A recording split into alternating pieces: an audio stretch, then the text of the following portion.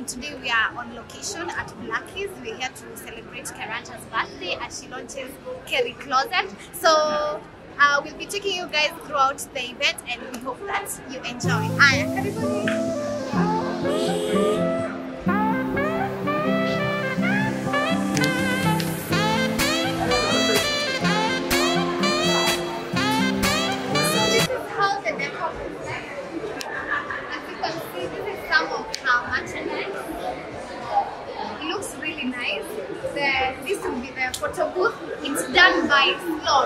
And S Picnics. Make sure you check them on Instagram. So yeah, so have a look at that.